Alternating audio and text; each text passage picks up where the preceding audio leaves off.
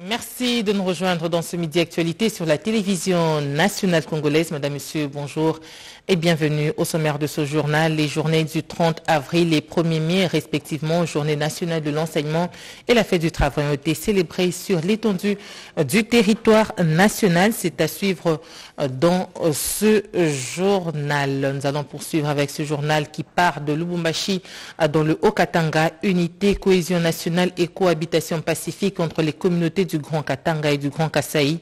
Telles sont les recommandations issues de la table ronde interprovinciale de Lubumbashi. Table ronde clôturée le samedi 30 avril par le chef de l'État, Félix-Antoine Tshisekedi Chilombo. Plus de détails dans ce reportage de Pierre Kibambe Soumoïsa. Aussitôt revenu à Lubumbashi au terme d'un séjour à Lusaka, en Zambie, le président de la République Félix-Antoine Tshisekedi Chilombo s'est rendu à Pullman Karavia où il a présidé la cérémonie de clôture de la conférence interprovinciale Grand Katanga-Grand Kassai sur la cohabitation pacifique entre les deux communautés. Au chapiteau érigé au sein des installations de l'hôtel, le chef de l'État a rejoint en compagnie de son épouse, la première dame Denise Nyakeru Tshisekedi, l'assistance composée de tous les participants à la table ronde interprovinciale, en l'occurrence les gouverneurs de neuf provinces du Grand Katanga et du Grand Kassai, le Haut-Katanga, le Lualaba, le Tanganyika, le Haut-Lomami, le Kassai central, le Kassai oriental, le Kassai, les Sankuru et l'Omami. Les chefs traditionnels, les acteurs politiques et les représentants des associations socioculturelles des deux espaces katangais et kassaïens. Le Premier ministre Samalukonde et les membres du gouvernement qui avaient assisté à l'ouverture de ces assises étaient aussi parmi l'assistance.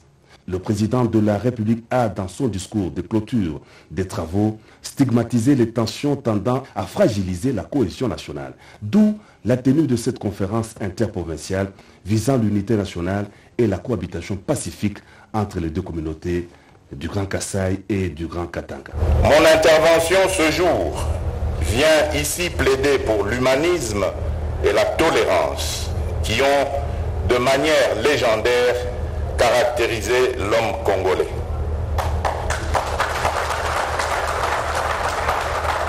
Ce, plaidoyer se veut en outre responsable dans la mesure où il invite chacun de nous au respect de son prochain, des us et coutumes, mais par-dessus tout au strict respect des lois de la République et à la non-perturbation de l'ordre public.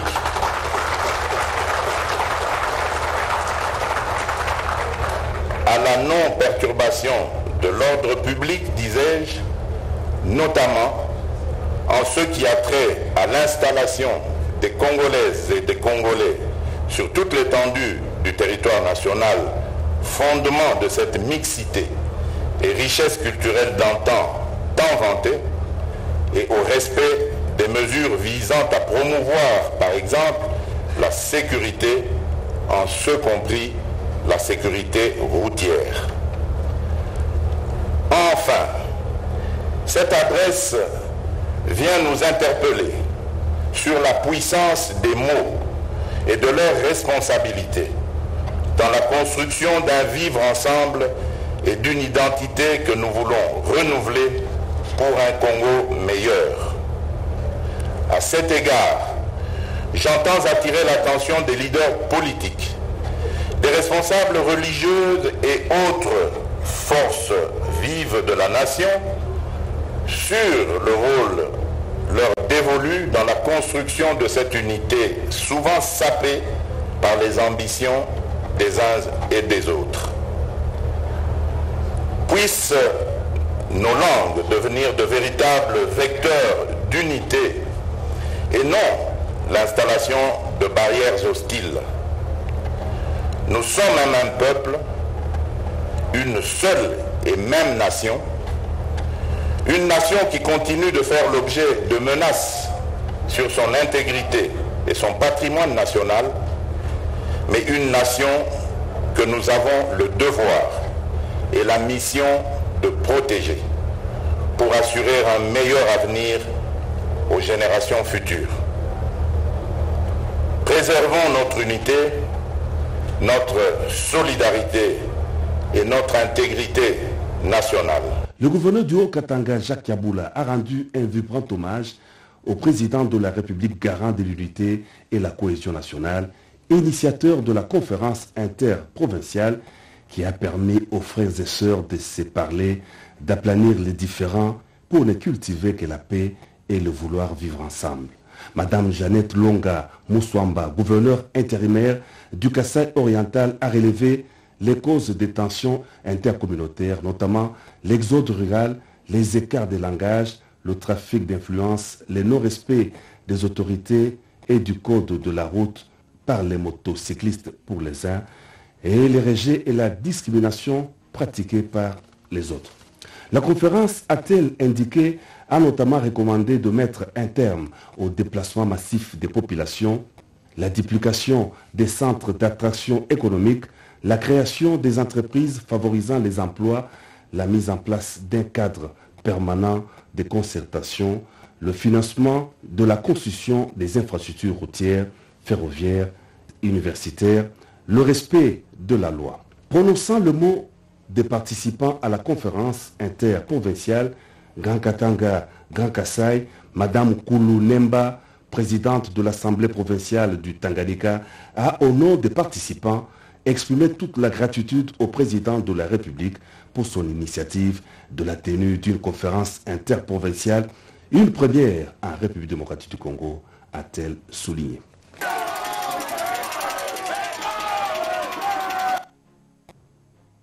Sur Lusaka en Zambie, le chef de l'État y a effectué un bref euh, séjour. Félix Antoine Tshisekedi Chilombo a échangé avec les communautés congolaises vivant dans ce pays frère. Ces derniers lui ont soumis leurs préoccupations. Reportage. C'est un tonnerre d'applaudissements qu'a reçu le couple présidentiel samedi lors de son entrée dans cette salle polyvalente de l'hôtel Taj Pamodi, remplie de compatriotes établis en Zambie le président de la République est venu à leur rencontre. Après les mots de Madame l'ambassadeur sortant de la RDC en Zambie, ses compatriotes représentants des diverses organisations ont fait part au chef de l'État de leurs multiples préoccupations. Muni d'un stylo et d'un calepin, Félix Antoine Tshisekedi Chilombo a pris des notes et les a écoutées attentivement. S'agissant des préoccupations relatives à leur situation socio-professionnelle, le président de la République a fait savoir qu'elles figureront sur la table des discussions lors des prochaines rencontres avec son homologue zambien. Il a par ailleurs invité ceux de compatriotes qualifiés à regagner le pays pour apporter notamment leur contribution à son développement et notamment au programme qui lui tient tant à cœur, celui du développement à la base des 145 territoires. Autre appel lancé faisant référence à la table ronde en cours dans le Grand Katanga au sujet des tensions entre communautés, c'est celui du vivre ensemble. Tout Congolais doit se sentir chez lui partout au Congo, a indiqué le président de la République. Nous sommes tous enfants du Congo, filles et fils du Congo. Nous devons vivre avec ça à l'esprit.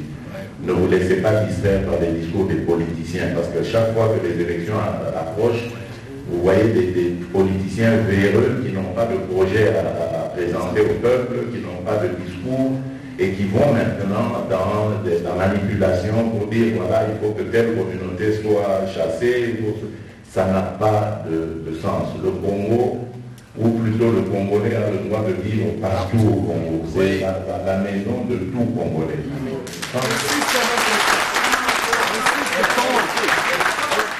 C'est dans une ambiance conviviale que le chef de l'État a clôturé cette rencontre qui marque la fin de son séjour de travail à Lusaka, en République des Zambie. Avant de quitter le sol zambien, le président de la République a eu un bref entretien au salon présidentiel de l'aéroport international Kenneth Kaunda avec son homologue Akainde Ishilema. Revenons à Kinshasa. L'évaluation des efforts consentis dans l'amélioration des conditions de travail, c'est l'essentiel du point soulevé à l'occasion de la fête du 1er mai, fête du travail. Le Premier ministre a été représenté par le vice-premier ministre, ministre de la fonction publique, Jean-Pierre Liaou, lors de l'évaluation des actions. C'est un reportage de Cédric Kenina et Nadine Kilocho. 1er mai, pas comme les autres. Sous les signes d'une nouvelle ère qui s'ouvre dans le monde du travail en République démocratique du Congo. Promouvoir l'emploi et les travail décents dans un monde en mutation, cette thématique de la Journée internationale du travail est réellement le reflet de la nouvelle dynamique insufflée par le chef de l'État Félix-Antoine Tshisekedi dans l'amélioration des conditions de travail et les sociales des travailleurs. Un processus qui va du dépôt des cahiers de charges par les représentants du personnel du secteur public en 2021 et qui a trouvé du répondant par la mécanisation de près de 22 800 agents et plus récemment l'amélioration des conditions salariales comme l'a démontré noir sur blanc les vice-premiers ministres, ministres de la fonction publique, Jean-Pierre Liaou, représentant les premiers ministres à cette activité. Je suis parfaitement d'accord sur le fait que les travailleurs de notre pays méritent davantage de protection, méritent davantage de couverture, méritent davantage un regard généreux de la part de l'État. Mais je foi en la RDC.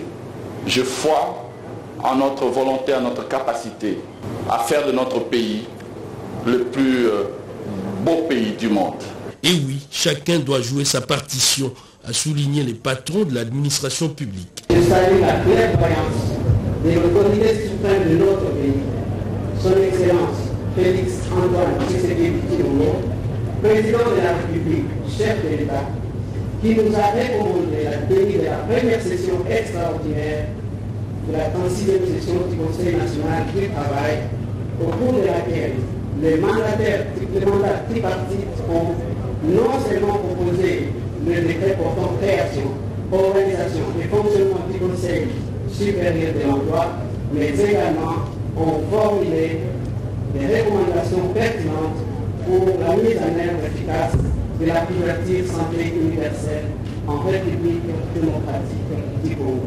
La ministre de l'Emploi, Travail et Prévoyance sociale, Claudine Doucy, a remercié le chef de l'État pour son accompagnement aux assises du Conseil national du travail avant de laisser la place à l'intersyndical qui salue les efforts consentis par le gouvernement dans l'amélioration des conditions sociales des travailleurs et des efforts qui doivent être poursuivis. Et puis, à l'hôtel de ville de Kinshasa, la fête du 1er mai dédiée aux travailleurs du monde entier a été célébrée avec les agents et fonctionnaires de l'État de l'administration euh, provinciale. Le ministre provincial du Travail, Daniel euh, Koufi, a sensibilisé les travailleurs autour euh, du thème de cette année, promouvoir un travail décent. Redépend reportage. Journée internationale travail dédié à l'ensemble des travailleurs dans le monde. Plusieurs manifestations ont accompagné cette fête. Les travailleurs, agents et fonctionnaires de l'État du gouvernorat de Kinshasa accompagnent les ministres provinciaux en charge de la fonction publique, emploi, travail et prévention sociale. Damien Koufi, Mouzingulu. Ils ont manifesté leur soutien total au ministre central de l'ETPS dans sa politique sociale et au gouverneur de la ville-province Kinshasa, Gentini Ngobila, qui ne ménage aucun effort pour l'ensemble des travailleurs de Kinshasa. Le thème de cette année, promouvoir l'emploi et le travail décent dans un monde en mutation, a servi de matière de sensibilisation de ces administratifs.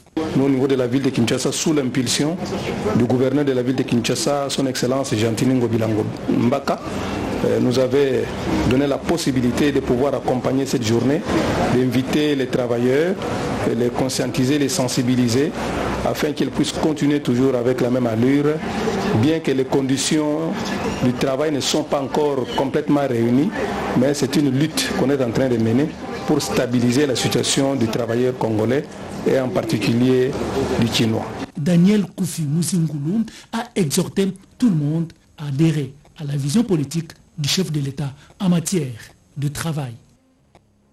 Des manifestations ont été organisées ci et là à travers le pays dans le cadre de la Journée nationale de l'enseignement à célébrer le 30 avril euh, de chaque année. Dans le sud du Bangui et dans le Kassai oriental, les élèves et autres lauréats du concours panafricain de Namibie ont défilé devant euh, leurs autorités respectives. Reportage La journée de l'enseignement célébrée le 30 avril de chaque année n'est pas passée inaperçue dans la province de Chubangui. Le directeur provincial de l'enseignement primaire secondaire et technique Chubangui 1, constaté Kabassé Chioué, a marqué cette journée d'un cachet spécial. En présence de Madame la ministre provinciale de l'Éducation, Marie-Thérèse Totois, représentant le gouverneur de province, son collègue en charge de l'intérieur, quelques membres du comité provincial de sécurité et ceux du comité provincial de l'EPST, un important défilé s'est déroulé au stade de Tata Movoto de Guémena. Défilé auquel les enseignants tout réseau confondu, les gestionnaires et tout naturellement les élèves ont participé, fiers d'eux-mêmes, devant la tribune au rythme de la fanfare de la PNC qui a agrémenté cette cérémonie. Dans son discours, la ministre provinciale s'est exprimée en ces termes. À cette occasion, il est de rappeler que le chef de l'État, son Excellence Félix Antoine Tshisekedi Chilombo, soucieux de l'avenir du pays et de notre jeunesse, a souligné la gratuité de l'enseignement primaire stipulé à l'article 43 de la Constitution. Pour sa part, le directeur provincial de l'EPST Bangui 1, qui s'est confié à la presse, a rassuré les enseignants quant à la prise en charge des enseignants par le gouvernement de la République. La province du Kassai oriental a commémoré ce samedi 30 avril la journée nationale de l'enseignement sous le thème gratuité de l'enseignement primaire, lutte contre les antivaleurs, affaire de nous tous. Elle a été marquée par un imposant défilé des agents et cadres des différents services de l'EPST Kassai Oriental 1, des enseignants et des élèves. La manifestation a été présidée par le ministre provincial de la Justice, Jean-Raphaël Kalala Bantou, gouverneur de province intérimaire du Kassai Oriental sur le boulevard Musée Laurent Désiré Kabila en présence des différentes autorités de la province. À cette occasion, le ministre provincial de l'Éducation, professeur Lazare Chipinda Kassonga, a présenté au public les deux lauréats du Kassai oriental au concours panafricain de Namibie. Dans son discours de circonstances, Jean-Raphaël Kalala Bantou, ministre provincial de la Justice faisant fonction du gouverneur de province intérimaire, s'est réjoui de la rentrée scolaire 2021-2022 avant de féliciter les lauréats au concours panafricain de Namibie. Sur financement du chef de l'État, quatre quais modernes pour accostage des bateaux ont accosté dans le territoire de Calais, au sud Kivu. La cérémonie d'inauguration est intervenue le samedi 30, 30 avril. Plus de détails dans ce reportage des quatre quais construits par les chefs de l'État, Félix Antoine Tshisekedi Chilombo, dans les territoires de Calais, au site Kivu. Des infrastructures qui respectent les règles de construction et de l'architecture. Débutés en 2019, les travaux de construction de ces ports publics ont été retardés à cause de la pandémie à Covid-19. Aujourd'hui, les bénéficiaires demandent aux autorités de tout faire pour inaugurer ces ouvrages. Ce que nous attendons pour nous, d'abord nous capitaines, nous conducteurs des bateaux, c'est une satisfaction. Et je profite pour dire merci au chef de l'État et dire merci à l'équipe à l'équipe a, qui a exécuté ces projets parce que c'est un projet pour nous, nous conducteurs, qui vient de nous faciliter la tâche. Nous accostions jadis dans une difficulté. Mais aujourd'hui ou des mecs, après l'inauguration, quand on va nous permettre d'accoster sur, sur les quais, on fera des manœuvres très facilement. Le territoire de Calais n'a pas de routes praticables. Grâce à ce quai, les médicaments pourront désormais être acheminés sans beaucoup de difficultés, y compris les transferts de malades vers les grandes structures sanitaires.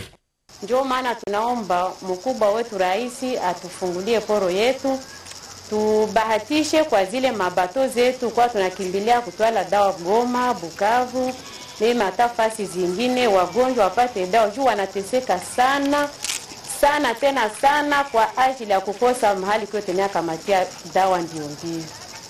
C'est pour construire Calais Centre, Kinyezire, Kassounou et Minova vont faciliter les échanges commerciaux entre Calais et des grandes agglomérations comme Goma et Bukavu dans les Kivu.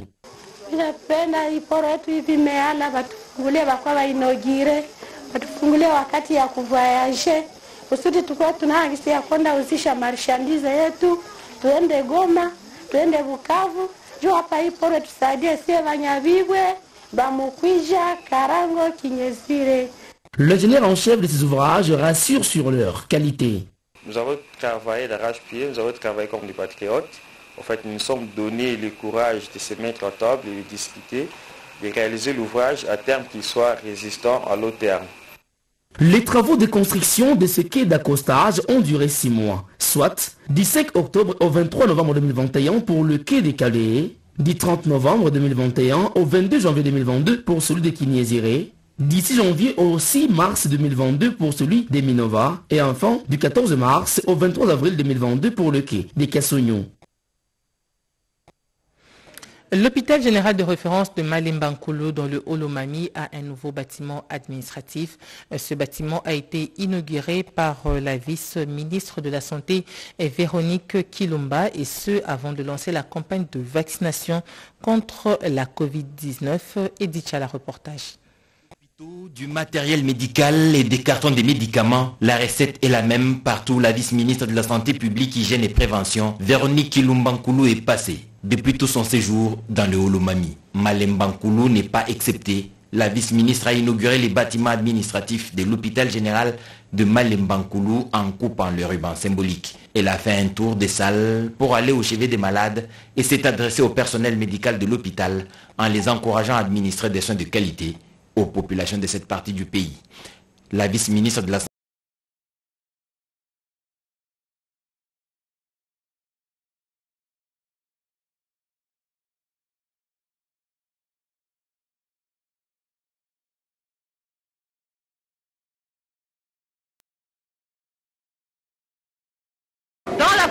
santé universelle, nous avons d'abord l'amélioration des infrastructures ainsi que l'équipement. Nous avons l'approvisionnement des médicaments, mais nous avons aussi l'amélioration des conditions de travail des personnels de santé. Comme à Kamina, la vice-ministre de la Santé publique, Hygiène et Prévention, Véronique Kilumbankulu, a lancé la campagne de vaccination contre le coronavirus. Une mission de travail qui se poursuit pour ce membre du gouvernement qui a repris son chemin pour Kabondo, toujours dans la province du Holomami. Quelques quartiers de la commune de Lingwala, ici à Kinshasa, viennent de renouer avec l'électricité. Des câbles en cuivre et autres équipements euh, pour remplacer le circuit défectué ont été remis euh, par les services du ministère des Ressources hydrauliques et électricité euh, que dirige le ministre Olivier Mountzemukaleng. C'est à suivre dans ce reportage de Iverson Kawaba et Oscar Mbal.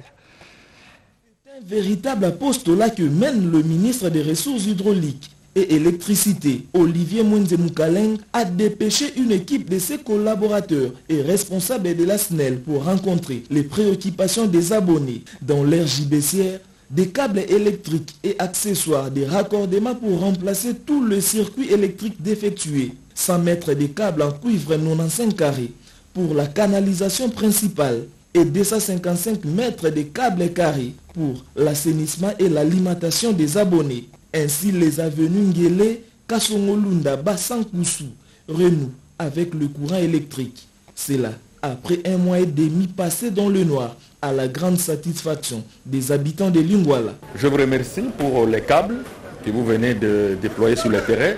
C'est une demande de la population. Chaque jour, je peux dire chaque jour, la population arrive chez moi le matin pour me dire que nous n'avons pas le courant.